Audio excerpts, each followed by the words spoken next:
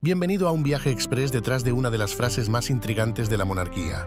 ¿Alguna vez has escuchado el rey ha muerto, viva el rey?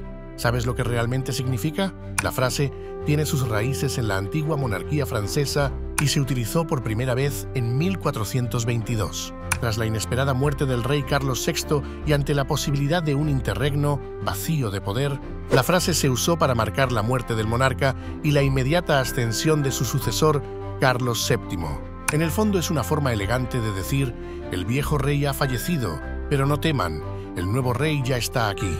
La transición de poder era tan rápida que no había tiempo ni para pestañear. De un minuto a otro ya tenías un nuevo rey en el trono dispuesto a gobernar.